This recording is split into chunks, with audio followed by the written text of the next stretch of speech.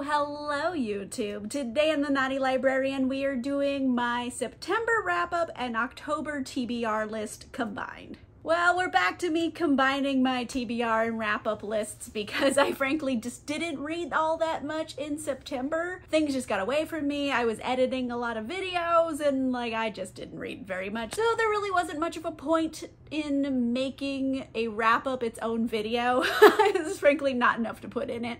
So we're gonna combine things. And since September's already over, let's start with wrapping that up before we get into what's on deck for October. First up are books I've already reviewed, and there's two of them. I continued on my James Bond read along series with Dr. No by Ian Fleming. This is book six of the series. And it's not like my favorite book of the series, but I do enjoy it for the sheer campiness of it. Uh, it takes place in Jamaica, and you know, Ian Fleming owned a home in Jamaica, so it really shows that how much he like loves the area and everything. It's very immersive as a setting for the story but um, it, it, could have been better in other aspects. Like, it's an okay story. It kind of goes off the rails, I'll just say that, because I bet you're not expecting James to, like, fight the Kraken. like, oh boy, does he get into a fight with a giant squid in this. I don't know what to tell you. That happens in the book. I have a full recap on it, so you can check that out. But it goes a bit off the rails at times, but it's a fun book in general. So I'm a little bit mixed on my feelings about it. I think overall it's like a 3.5, 3.75 stars. I also continued on with the Vampire Chronicles and I read Prince Lestat and the Realms of Atlantis by Anne Rice. And this is like literally the weirdest book I've ever read. like some of the things that happen in this book haunt me. a lot happens and basically it says, uh, you know all the other books in this series? Fuck it, none of it mattered in the end. Because it turns out, I guess, vampires are also kind of aliens in a way. Yeah, there's aliens now. It's a whole thing. I have a whole recap video, but yeah, this one also went off the rails. it was, I'm just, there's, I'm haunted. That's all I'm gonna say about it. A lot happened and it was a lot of weird, like more weird than I was expecting. It's like if I tried to explain the weird in this again, like people would think I'm having a mental breakdown. Like that's how weird it is. But there's a whole recap video so you can dive in, buckle up and see what happened. but yeah, it was it's the weirdest book I've ever read. It's I have no words. Next section is like literally everything else I read, so I have three more books to go over. First up, I read Lightbringer by Pierce Brown. This book really took it out of me. Like, I have realized I am no longer a 700 page book girly. I want short ass books. I want a 300 page banger. You know what I mean? like 700 is just too much to read. So This took me forever to get through and I think it's also a main contributing reason why I didn't read as much as I thought I would this month. It's because this. It's 700 pages, dear lord. And I'm a little conflicted about this book as well. Like you can see from the tabs here, I tabbed the shit out of it. Like the writing isn't the issue here. I love Pierce Brown's writing style. I love like this really in-depth world he's created in these series and mind you this is like book six so like th there's a lot of stuff to go over to get to this point but this book in particular reeks of a bridge book to me where it's just setting up the conclusion and i did hear originally this whole series supposed to be six books this book was so effing long, it got split into two books, and this book is still 700 pages long. How long was it before? like, oh my word. So there is going to be one more book in this series, and it's just like setting up all of the little pieces that were necessary to happen so the end makes sense. So, like, I'm not saying it's not good. I did enjoy it. I think it's well written.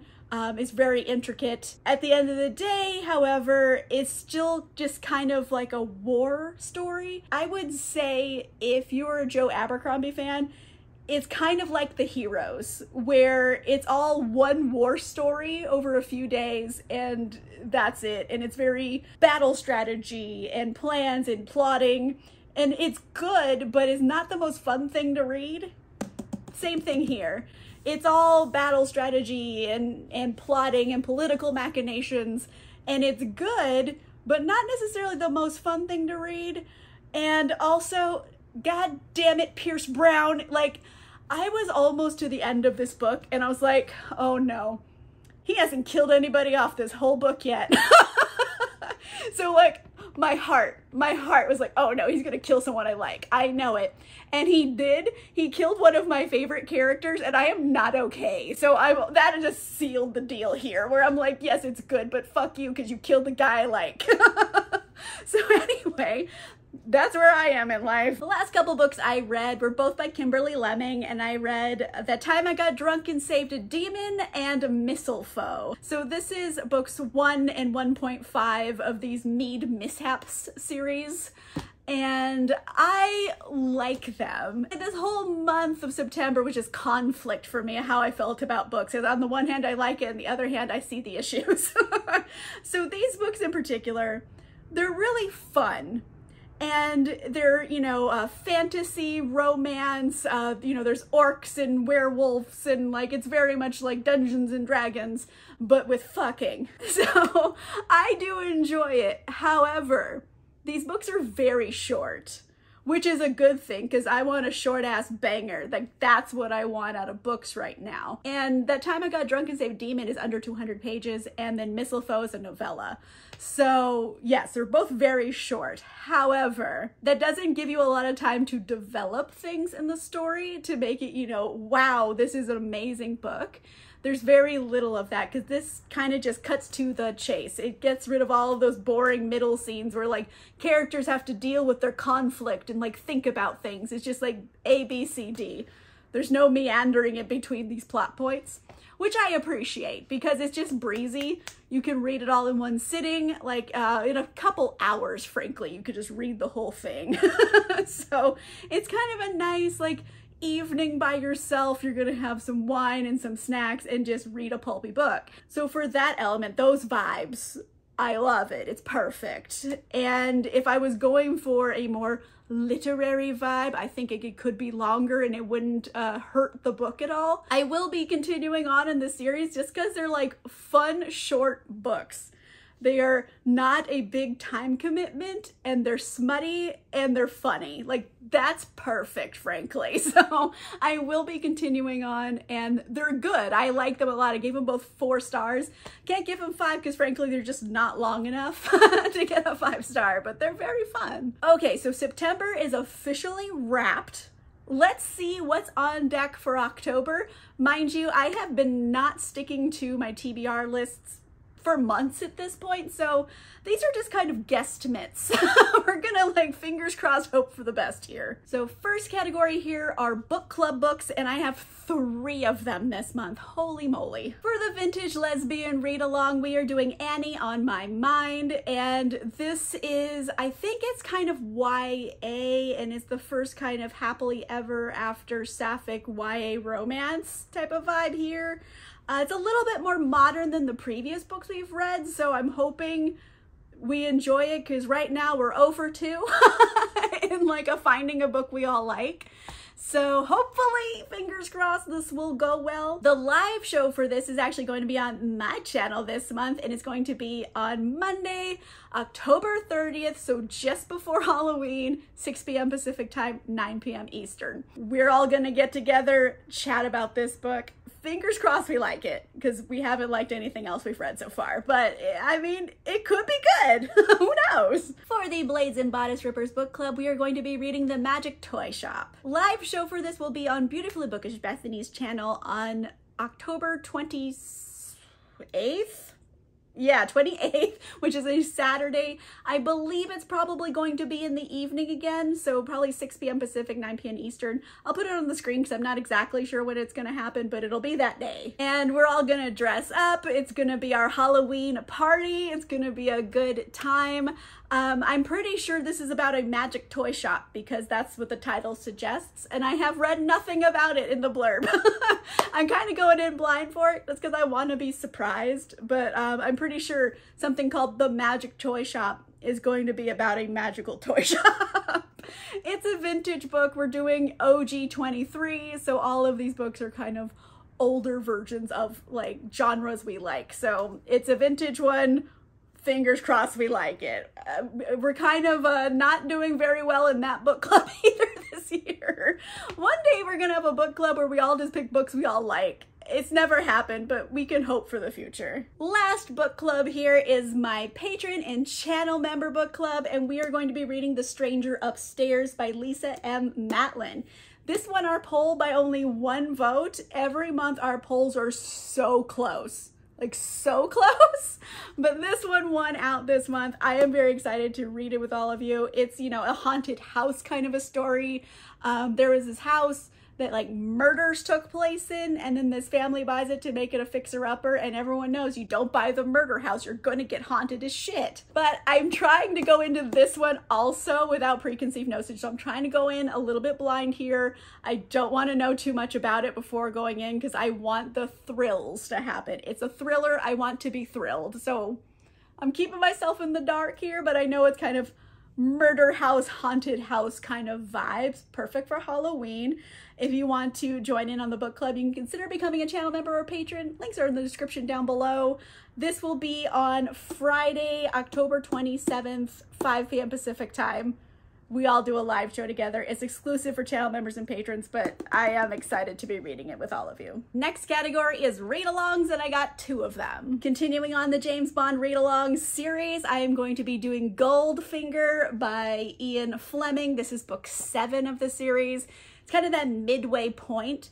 And I mean, it's Goldfinger. Like, this is iconic James Bond, if anything is. Like, the movie is a chef's kiss. It's still good by today's standards. This one has a really good villain. I'm, I'm just really into rereading this because I've read it once. And honestly, I don't remember enough details about it. I think I just whizzed through it the first time and now I want to, like, get in and, like, think about things and be really analytical. Like, it's such a nerd thing to be excited for. but I am excited to read this one. A full recap will be up on my channel sometime this month. Also on deck, I have Blood Communion by Anne Rice. This is the final book of the Vampire Chronicles. This is it. This is the last one. There's not any more. I didn't think this day was going to come because I've been reading these books for so long at this point. It's kind of absurd. But uh, there are more Anne Rice books, so uh, stay tuned. I will be doing some more series from Anne Rice. I will announce those when I get there. But in October, we're doing Blood Communion. The last book, Realms of Atlantis, was so wild that, like, I don't even want to speculate. I don't think I can. Every book is weirder than the last. So who knows what's ahead of me in this book. But I also enjoy that it's kind of relatively short for Anne Rice. Um, usually her books are very long, and this one seems kind of breezy, honestly. So uh, excited, but also kind of bittersweet because it's ending the Vampire Chronicles. It's all done. It's a little bit of a, it's a little sad, but also a little happy. I don't know. There'll be a full recap up on my channel sometime this month as well. Last up, I have three more spooky books I put on this TBR. Who knows if I'll get to them? All the rest of the books I have to do. These are optional, but hopefully I will also do them. I put Perfume by Patrick Suskind on this list, mainly because I asked in my previous video, do you guys want to see a Drunk Classics on this? And the response I got was overwhelmingly yes. and this book is going to be so dramatic and campy and weird and horrific that I'm like, this is a perfect drunk classics to do. So hopefully I am going to read it and film the drunk classics video. I'm not sure when it will go up, but it will probably happen in the near future. But I'm hoping I can read this this month because it's gonna be just a lot. get through, but I am excited to try it out. I also might try to read The Shining by Stephen King. I mean, iconic horror. I I've seen the movie. I feel like the movie everyone's seen it at this point. I love the movie. I haven't read the source material. And I have this really cool like edition I got at a library book sale. It's so pulpy and kind of like comic book. I, that's a cool edition. I'm so happy I got it. I got it for like a dollar. but yeah, I I don't know. I I know the basic story because I've seen the movie, but I don't know the story. Um, I know movies take a lot of creative license, so I'm excited for this one. Hopefully, I will find time to read it because I think it's a perfect kind of Halloween pick. Also, it was in the poll for the channel member book club and it lost by only one vote. So it was almost going to be The Shining. So I'm going to try to read it. Last up, I have Court of the Undying Seasons by A.M. Strickland. This is another standalone fantasy by this author. Uh, this author also wrote In the Ravenous Dark, and I loved that book. It's like necromancy, but make it pansexual. and it was amazing.